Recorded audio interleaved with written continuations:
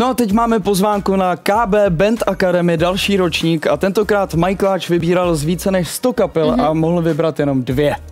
A víš, se dostali, Mildo? Čtvrt milionu. Přesně tak, mm. na podporu kapely, což je super. Což Kdybyste je se na tenhle ten díl chtěli podívat, tak ve čtvrtek od jedné hodiny, anebo když to nestihnete, www.kbetacademy.cz. Správně jste řekla. jako ho vybrali. Já jsem teď zrovna viděla, Naděje se jmenovala ta kapela teď Ano. Tak jsem viděla právě klip a říkala jsem si, že to vypadá strašně moc pěkně.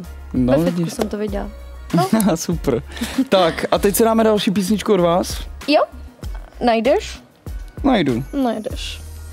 Ahoj, chtěl bych zahrát od kapely Memphis Terezo pro všechny fanoušky Očka. Je, Díky. To je Honza Říčař. To je Honza Říčař, tak zdravíme tady našeho kole, kolegu a jdeme se podívat, jak si zaplaval v bazénu.